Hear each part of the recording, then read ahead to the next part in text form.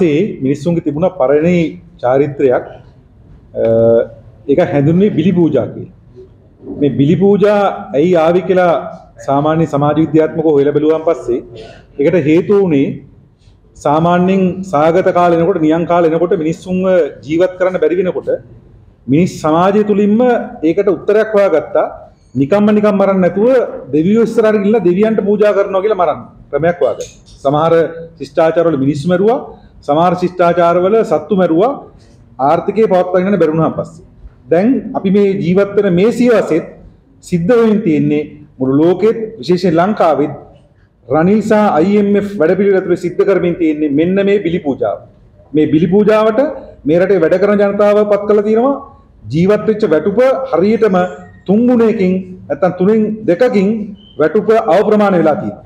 ඊළඟට මේ රටේ සාමාන්‍ය වැටුපක් ගත්ත මැද මට්ටමේ වැටුපක් ගත්ත වෘත්තිකයෝ ඔවුන්ට ඉතා විශාල වදුවරක් පටවලා ඒ වගේම ඔවුන්ට ඉතා විශාල පීඩනයක් එල්ල කළා. ඔවුන්ට රටේ ජීවත් වෙන බැරි තත්ත්වයක් ඇති වෙලා තිනවා.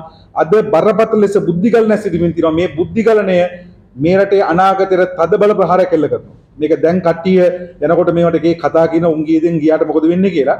හැබැයි මේ රටේ විශේෂඥයෝ විශේෂයෙන් මේ ක්ෂේත්‍රවල ගොඩනැගිච්ච විශේෂඥයෝ ඔවුන් රටෙන් එළියට ගියාන් පස්සේ උන් එන පවුල් පිටින් ඒ නිසා ඒක විසින් විශාල බලපෑමක් රටේ අනාගතයට කරනවා. ඒ වගේම සුළු හා මධ්‍ය පරිමාණ ව්‍යාපාරිකයින්ට අද ඔවුන්ගේ ව්‍යාපාර පවත්වා ගන්න බැරි විදියට ඔවුන්ට ණය පොලි වැඩි කරලා තියෙනවා වාරික වැඩි කරලා තියෙනවා පොදුවේ සියලුම ණය වැඩි කරලා තියෙනවා. මේක හා මේ මේ මේ වසරේ නැත්නම් මේ අපි ජීවත් වෙන නූතන යුගයේ සිද්ධ වෙමින් තියෙන්නේ අන්නේ බිලි පූජාව.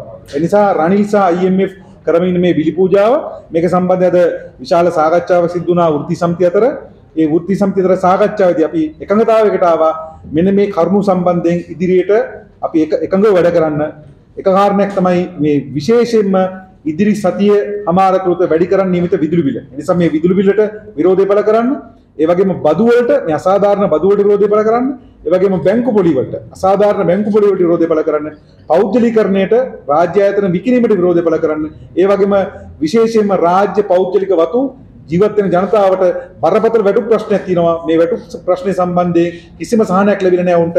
ඒ සම්බන්ධ විරෝධය පළ කරන්න මෙන්න මේ කරුණු සියල්ල ඒකාබද්ධ කරගෙන පෙබරවාරි මාසේ 9 වෙනිදා ඒකත් 9 වෙනිදා දිනයක්. ඒ 9 වෙනිදා විරෝධතාවයකට යන්න අපි තීරණය කරා. ජාතික විරෝධතා දිනයකට. ඒ නිසා විදුලි බිල විදුලි බිල වැඩි කරලා මේ විරෝධතා දිනය අපි කැඳවට මේ විරෝධතා දිනය විදුලි බිල වහාම ඒක වැඩි කිරීම ආණ්ඩුව අකුල ගත යුතුයි. ඒ නිසා පෙබරවාරි 9 වෙනිදා අපි මේ සියලු ප්‍රශ්න මුල් කරගෙන විරෝධතා දිනයට ජාතික විරෝධතා දිනයකට යන්න අද වෘත්ති සමිති 100කට ආසන්න ප්‍රමාණයක් අපි එක එක රාශි වුණා. ඒ සියලු දෙනා ඒක ඒකාබද්ධව තීරණය කරා මේ සම්බන්ධ එකඟතාවයට ආවා.